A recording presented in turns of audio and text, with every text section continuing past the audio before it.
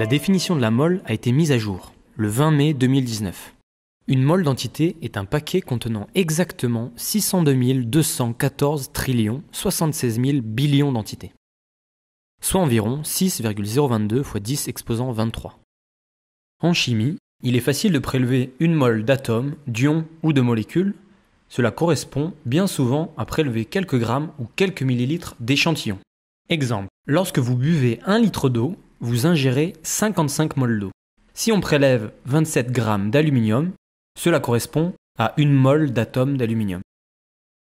Mais au fait, avez-vous déjà pris le temps de vous représenter le nombre gigantesque d'entités présentes dans une mole?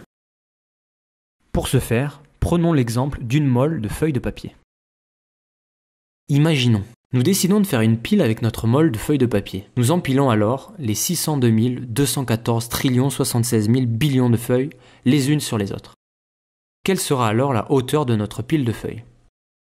Sera-t-elle aussi grande que la Tour Eiffel et ses 324 mètres? Ou l'Everest et ses 8848 mètres?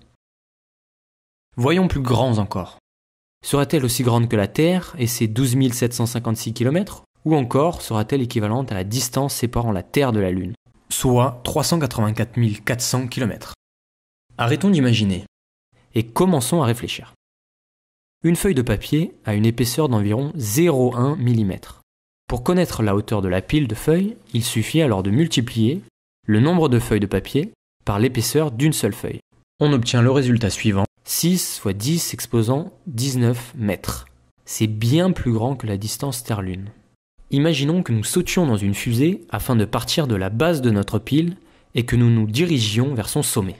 Entamons notre voyage et voyons où ces feuilles de papier vont nous mener. La pile s'élève vers le ciel et dépasse la Lune et les planètes de notre système solaire. Nous dépassons Voyager 1, qui est la sonde qui est l'objet d'origine humaine qui est le plus éloigné de la Terre notre tas de feuilles serait tout bonnement gigantesque. Et il pourrait atteindre des étoiles, tout un tas d'étoiles même. En voilà une accompagnée de son exoplanète. En réalité, cette pile mesurerait plus de 6000 années-lumière. Impossible de parcourir cette distance avec une fusée. Il nous faudrait plus de 5 millions d'années pour effectuer ce trajet. Comme vous l'avez constaté, le nombre d'entités qui est présent dans une mole est donc incroyablement grand.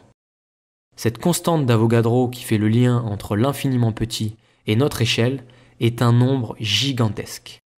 J'espère que lorsque vous penserez aux atomes et aux molécules constituant la matière, ou lorsque vous prélèverez une quantité de matière en chimie, vous prendrez quelques secondes pour vous dire que tous les jours, sans y penser, vous manipulez l'infiniment nombreux.